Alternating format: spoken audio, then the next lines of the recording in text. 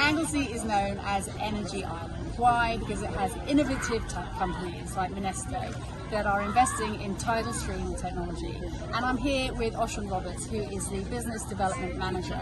Now, Osian, are you open up to people coming to see you and finding out more about Minesto and what you do? Of course, we're either here at the show today, but we're based in Holyhead at the fish stop, so everybody's more than welcome to come and see us, hear about what we do and what our intentions are here in Wales.